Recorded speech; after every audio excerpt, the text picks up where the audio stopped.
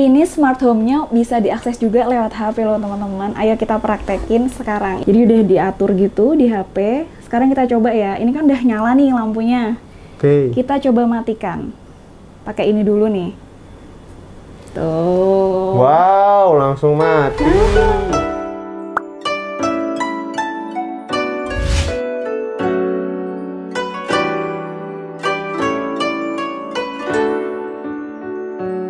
Selamat datang kembali di channel Wicak Mifta. Kita kali ini lagi ada di Serpong, teman-teman.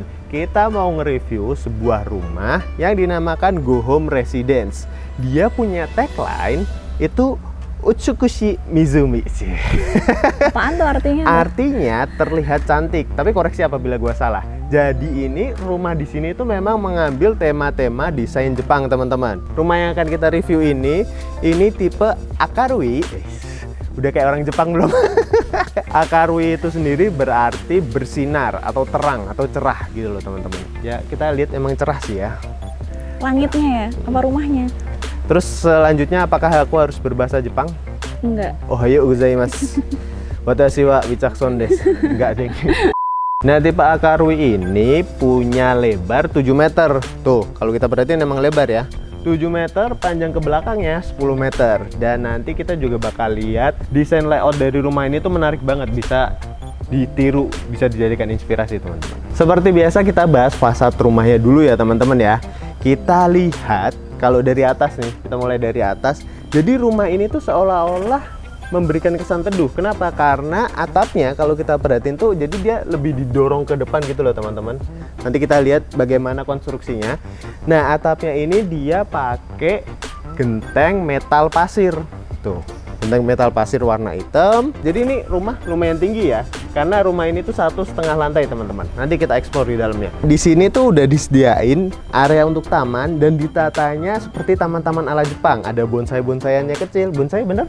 Benar. Oke, di bonsai-bonsai, terus ada bebatuannya di sini, terus ada lampu-lampuan nih. Ini yang bikin ala Jepang banget nih teman-teman. Lucu ya. Dan di sini lanjut area carportnya. Jadi tamannya tuh selebar 3 meter, area sininya kurang lebih 4 meter. Nah ini kayaknya bisa masuk dua mobil kecil nih. Tapi kalaupun emang masih kurang lega, mungkin kalau gua ya bakal ngepotong ini semua jadi area carport. Jadi tamannya segitu aja. Tapi itu preferensi masing-masing. Nggak selalu kayak gitu, oke? Okay? Nah ini kita perhatiin teman-teman. Kenapa atapnya bisa didorong ke depan ya? Jadi ada strukturnya nih. Ya ada strukturnya.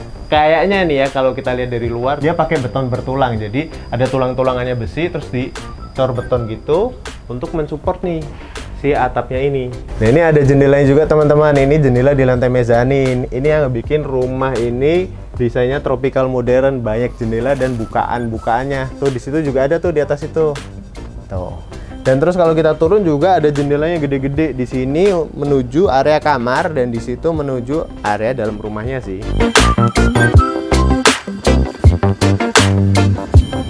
Nah ini yang kita bilang tadi konbut kan. Jadi seolah-olah kalau dari jauh dia kayak kayu gitu teman-teman. Padahal enggak. Padahal itu bahannya dari fiber dan semen. Jadi dia pastinya tahan terhadap cuaca.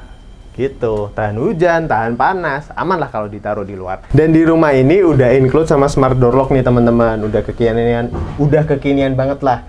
Nah ngebukanya udah sering kita sebutin juga ya. Ini pakai pin bisa pakai access card bisa pakai fingerprint di sini bisa maupun kunci konvensional yang ada di bawah sini nih. Nah ini kita udah dipinjemin nih akses cardnya maupun kunci konvensionalnya. Kita buka pakai akses card ya. Unlock. Unlock. Tada, silahkan masuk. Eits, tapi sebelum masuk kita copot sepatu dulu. Kita ganti sendal.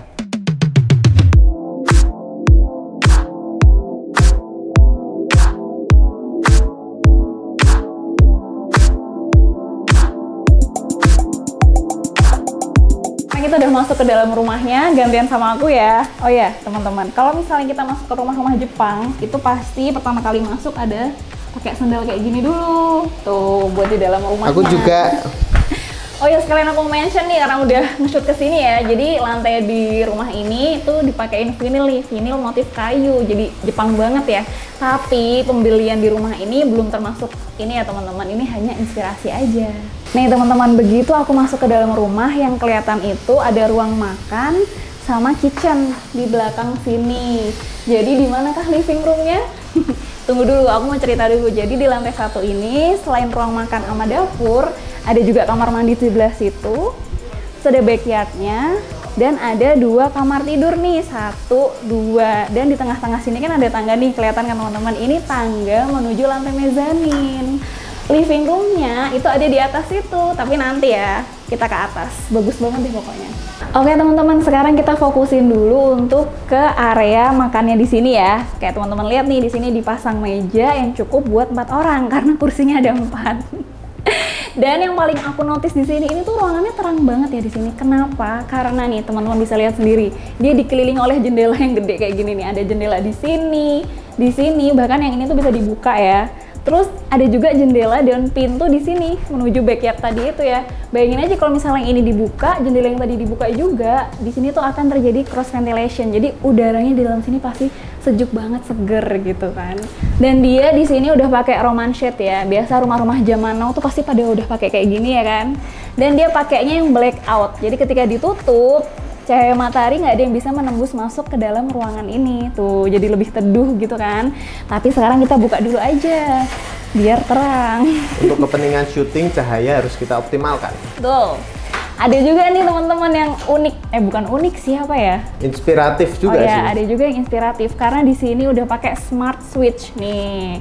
Karena dia tuh kan juga udah smart home ya, jadi switchnya juga udah pakai yang smart dong nih. Mereknya Arbit nih, merek-merek yang lagi kekinian ya. Mm -mm. Kalau saklar biasa kan harus dicetek-cetek gitu ya. Kalau ini enggak, ini kayak disentuh aja nih. Sekarang kita lanjut nih ke dapur. Untuk dapurnya juga masih sama ya teman-teman, didominasi sama warna coklat dan putih, ya kan? Jadi ala-ala Jepang banget gitu kan. Nih, untuk countertopnya dia udah pakai solid surface. Ini tuh aku suka banget nih kalau pakai bahan kayak gini. Kenapa? Karena ini tuh mudah banget perawatannya, gampang dibersihkan ya kan. Untuk backsplash-nya di sini dia pakein kaca ya kalau untuk di rumah contoh ini perawatannya mudah. Jadi kalau misalnya dia terkena cipratan minyak gampang dibersihkan. Nih sinknya cukup besar juga ya. Ini model yang top mount gitu karena dia di atas ya kan? Sama kerannya bisa digeleng-gelengin. Di sebelah sini ada kompor tanam merek Modena. Dia dua tumpu dan di atasnya nih yang nggak kalah penting ya sering kita bahas ada cooker hood ya kan? Jadi kalau masak seisi ruangan ini nggak bau asap gitu langsung kesedot ke sini Nih untuk kitchen setnya, tuh ada yang di atas. Dia ini finishingnya ini pakai cat duko ya teman-teman yang matte. Dan dia juga udah soft closing nih. Tuh. Untuk di bawah ini juga tuh ada laci-laci untuk alat untuk perlengkapan dapur. Oke, sekarang kita geser lagi ke sini dikit. Ini ada yang unik nih teman-teman. Ini tuh pasti di custom menyesuaikan bentuk kulkas sama dispensernya nih. Jadi dispensernya dibuat di sini, kulkasnya di sini, jadi lebih rapih ya teman-teman. Dan di atasnya juga masih ada lemari-lemari lagi. Sekali lagi ya teman-teman, semua yang ada di sini itu hanya inspirasi aja. Kalau teman-teman beli rumah di sini nih, boleh dicontek nih, keren. Kita lanjut yuk ke kamar mandi. Eh, tapi di sini ada area wastafel nih teman-teman, ditambahin wastafel mini mungkin yang kurang nih harusnya ditambahin cermin juga di sini. Jadi sekarang kita masuk ke dalam kamar mandinya. Ini pas masuk ke dalam kamar mandi level lantainya diturunin ya sekitar 3 cm nih teman-teman.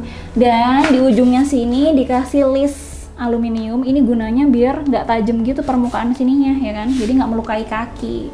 Oh ya aku lupa juga nih mention di sini juga dikasih clean ya dari tadi untuk kamar mandinya di sini terbagi menjadi dua area. Di sini untuk toilet duduknya dan di sini untuk showernya.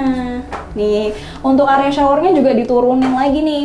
Dari sini level lantainya tuh 3 sentian juga ya kan. Jadi airnya langsung mengalir masuk ke dalam floor drain yang ada di sini. Begitu teman-teman.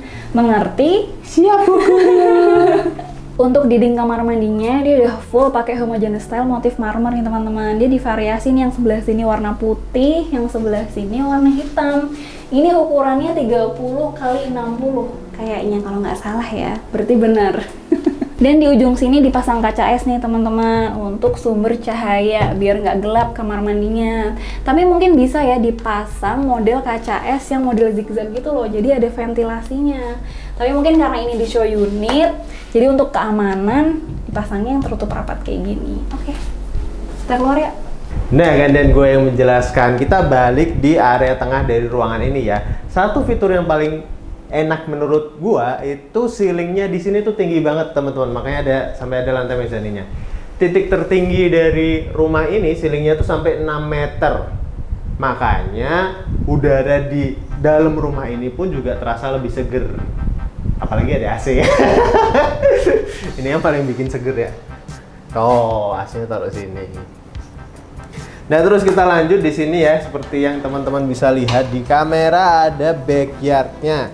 Backyardnya di sini dita ditata seperti Zen Garden. Zen Garden itu kan taman yang identik dengan nuansa Jepangnya. Nih, bisa kita lihat ya variasiin pakai batu koral warna putih, terus ada semenannya di situ, kebentuk gini.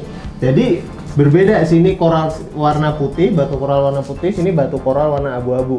Dan di sininya ada tanaman-tanamannya. Ini nggak yang Jepang banget sih, tapi menyerupai. Ini bambu ya? Iya, bambu tuh Cina apa Jepang sebenarnya? Hmm, dua-duanya ada, tapi lebih identik Cina karena ada panda yang suka di bambu. Kamu kan sukanya panda kan? Satu hal yang bisa bikin backyard ini jadi lebih cantik itu kita nambah vertical garden teman-teman.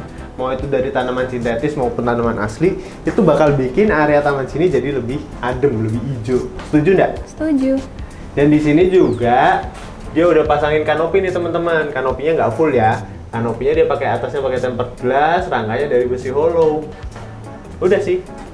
Yuk kita lanjut masuk ke dalam lagi. Kita tutup ya. Kita lanjut ke kamar tidur utama yang mezanin kita save buat yang terakhir karena dia yang paling istimewir. Istimewir. Yuk. Ini dia kamar tidur utamanya.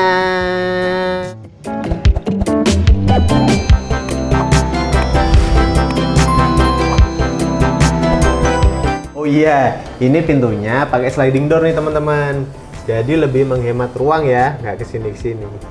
Warna coklat tua dia. Warna coklat tua.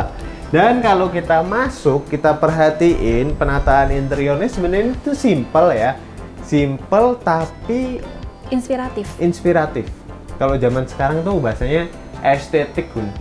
Oh iya benar estetik. Estetik. Dan instagramable. Instagramable, betul. Nah, di kamar tidur utamanya dipasangin kasur queen size, lebar 160 cm. Terus yang paling menariknya di sini tuh dipannya pakai model tatami bed, teman-teman. Jadi dipannya tuh nggak terlalu tinggi ya. Nih, dari sini ke bawahnya tuh nggak terlalu tinggi. Terus ini juga di cornernya dikasih semacam kayak karet gini biar nggak terlalu tajam. Nah, ini juga kasurnya tuh modelnya dimasukin ke dalam situ tuh dikit tuh. Nice juga ya. Dan kasurnya depannya tuh langsung ngadep ke Zen Garden yang belakang tadi. Ini jendelanya bisa dibuka ya teman-teman ya. Jadi kebayang kalau bangun tidur bisa langsung memandangi taman yang cantik di belakang rumah. Oh iya kalau kita perhatiin juga, ini tatami bednya nyambung sampai sini teman-teman. Tuh. Sampai sini jadi ada satu permukaan lagi. Bisa buat duduk atau bisa juga dilebarin lagi nih kasurnya pakai yang king size. Jadi mentok banget sampai sini lah. Ya nggak mentok sih, luas sampai sini. Terus yang menarik juga di sini, ini kalau kita perhatiin bagian belakang ya, area headbed dari kasurnya, ini dia variasiin ada wall panelnya kayak gini, ngekotak dari ujung sini sampai sana, sama ada spotlight spotlightnya tuh ada tiga. Terus belakangnya sini dia kasih variasi yang lebih memberikan nuansa Jepang banget. Nih, wallpaper warna krem gitu, kasih list-list kayu biar lebih cantik. Dan headbednya pun juga warnanya juga masih match banget sama seluruhannya. Keren ya? Terus kita geser dikit ke area sini. Ini meja riasnya teman-teman dikasih cermin bulat cermin lingkaran yang gede banget dan nggak lupa dia masih ngasih aksen-aksen kayu nih di sekeliling cerminnya. Terus ada tanaman sakura. Tuh, tapi ini sintetis sih, bukan yang asli. Dan di sininya untuk area nyimpen baju-baju dan perkakas lainnya. Sini storage terbuka, sini lemari-lemarinya. Dan lemarinya dia kasih depannya cermin, jadi lebih mudah ketika kita sambil berkaca, ganti baju, dandan segala macam bisa juga pakai cermin ini. Setuju? Setuju. Kita udah janji kita mau praktekin smart home-nya di kamar nih. Kita praktekin. Bukan kita sih, Neng Mifta yang praktekin. Ini smart home-nya bisa diakses juga lewat HP loh teman-teman. Ayo kita praktekin sekarang. Ini kan kamar utama. Nih, kayak gini nih. Jadi udah diatur gitu di HP. Sekarang kita coba ya. Ini kan udah nyala nih lampunya. Oke. Kita coba matikan. Pakai ini dulu nih. Tuh. Wow, langsung mati. Mati lampunya. Selain pakai ini dipencet di sini bisa juga pakai suara, pakai voice. Coba Caranya suaramu gini. yang merdu gimana? Oke, kita praktekin ya. Hidupkan kamar lampu utama.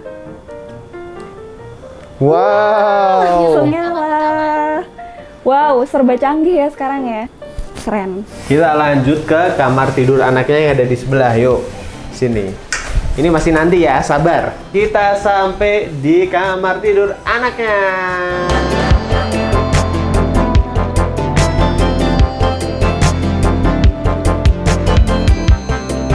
Oke, di sini juga pakai pintu sliding door teman-teman nih. Dan cakepnya dia dibikin relnya ngumpet nih di sini, diumpetin di sini.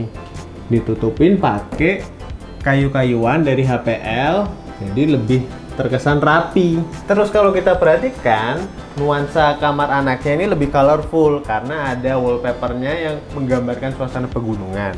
Jadi ini nggak sejepangnya kamar utamanya tadi ya, tapi tetap masih ada aksen-aksen Jepangnya. Di sini kasur anaknya tuh berukuran lebar 140 cm nih, kasur single ya kan. Dan cantiknya di sini headbed pokoknya semua ya. Itu divariasiin pakai LED strip nih teman-teman. Tuh, di sini ada LED strip. Jadi ngebikin ada ambience light-nya, nggak cuma di situ, di bawah dipannya juga. Tuh, ada ambience light-nya membuat suasana kamar ini jadi lebih enak gitu dilihatnya. Lemarinya di sini dibikin lemari model terbuka kayak gini buat gantung-gantungannya.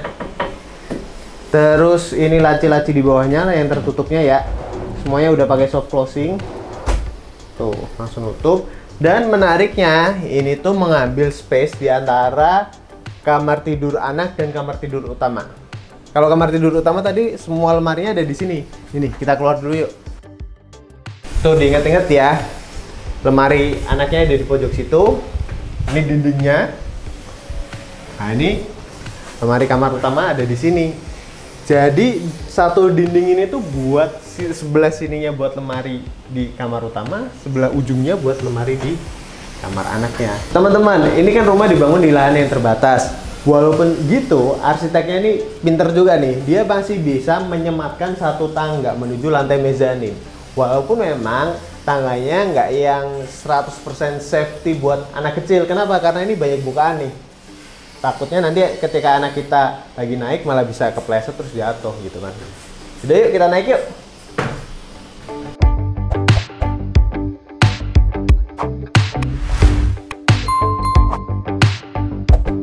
Yeay, gantian lagi sama aku dan kita udah sampai di lantai mezaninnya nih teman-teman yang tadi kita udah mention di awal dijadiin area living room. kamu kalau ada ruangan-ruangan yang unik yang bagus pasti kamu yang mau review Soalnya lucu gitu loh. Hmm. Karena aku bagian yang lucu-lucu, kamu bagian yang susah-susah. haha Adil kan? Selamat datang di living room Miftah. Pertama kali aku naik ke sini itu bener-bener kental banget ya aksen-aksen Jepangnya gitu kan. Jepang banget gitu loh begitu ngelihat ruangan ini. Nih kita mulai ya dari plafonnya. Dia full nih dipasangin wall panel kayak gini dari HPL ya kayaknya. Dia full dia mengikuti bentuk atap nih teman-teman. Warna coklat muda nih dikasih aksen garis-garis vertikal kayak gini. Nih teman-teman di sini dipasang meja lesehan. Terus ada bantalan-bantalan untuk duduk lesehan gini ya sama di belakangku ini udah kelihatan kan ada rak-rak kayak gini lucu banget tuh bisa buat nyimpen-nyimpen buku hiasan sama ada kimono-kimonoan Nih teman-teman selain lesehan di sini juga dipasang kursi. Kenapa nih kursinya menghadap ke sana? Karena di depannya tuh ada TV tuh. TV-nya sih menurutku ukurannya pas ya. Berapa inch tuh ukurannya? 42 42 inch ya. Dan ini tuh teman-teman nggak cuma meja TV aja, di bawahnya ini masih ada buat storage nih laci-laci buat penyimpanan, sama nih ada lemarinya juga. Di samping kanan kirinya dikasih lampu nih untuk menerangi bunga sakura yang ada di sini. Oh iya, Go Home ini didesain oleh arsitek terkenal loh, yaitu PDW Arsitek. Dan ini dia master plan di Go Home Residence teman-teman. Nantinya bakalan ada empat tipe rumah, yaitu Niji, Akarui, Shizuka, dan Heiwa. Kemudian ada Sawayaka Clubhouse-nya di sini. Terus juga dikelilingi danau, asik banget deh. Ini dia gambaran rumah di Go Home kalau udah jadi. Banyak taman-tamannya, hijau banget dan asri emang sih. Yuk, siapa yang udah tertarik nih punya rumah di sini? Komentar di bawah ya. Untuk lokasi dan lingkungan sekelilingnya kayak gini teman-teman. Dia punya akses deket ke pintu tol Serpong Balaraja, terus deket juga sama stasiun KRL Cicayur maupun Cisauk. Pastinya deket juga ke BSD, cuma 10 menit tuh ke Aeon Mall. Oke teman-teman, jadi tadi itu ya kita udah keliling review rumah tipe Akarwi ini gimana? Menarik banget kan? Pasti teman-teman sekarang penasaran nih harganya berapa sih? Jadi untuk tipe Akarwi ini harganya start dari 800 jutaan. Dan ada satu tipe lagi teman-teman namanya tipe Niji. Nih ya, bisa lihat di sini itu harganya mulai dari 600 jutaan. Oke, cukup sekian review kita kali ini. Semoga menginspirasi teman-teman ya rumah Jepang kali ini. Jangan lupa subscribe, like kalau teman-teman suka, komen dan follow Instagram kita yang ada di bawah sini. Bye, makasih udah nonton.